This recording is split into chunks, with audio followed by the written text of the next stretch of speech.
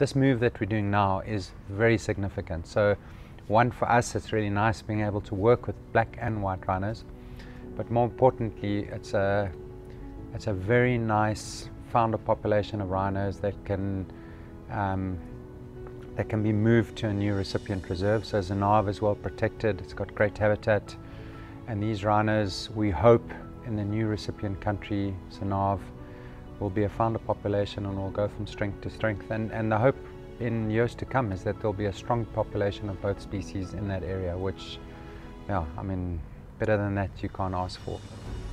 We've got to be there as soon as possible after the rhino goes down. So found three rhinos. Uh, we just want to start with one just so we can find our feet first. Uh, so it's a big bull. We're going to dart him and then the fixed wing is keeping the other two visual while we work with that one. And the hope that we'll go and dart them once we once we finished with the with the bull.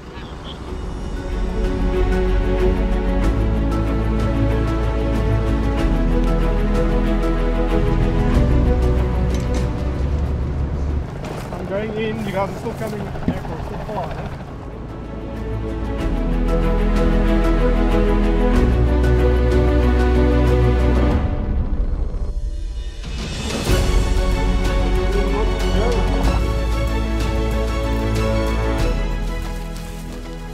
Sorry guys, there's no real path anymore. No, let's just keep going. I'll make one. What are you okay? Yeah.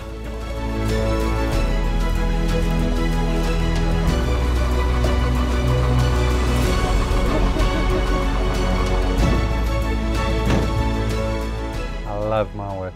I honestly do. I there's not a single second of my day that I don't love. And you know, as I say, it's it's such a huge privilege to be able to work with these animals and in these circumstances, and also knowing at the same time that you are making a difference. You you it, it's it's not just about rhinos, it's about all species, but right now the rhinos are really important and, and their story um, as a flagship animal, as an iconic species, they're going to help tell Zinave's story and so that the world can, can see what's happening in the restoration of Zinave.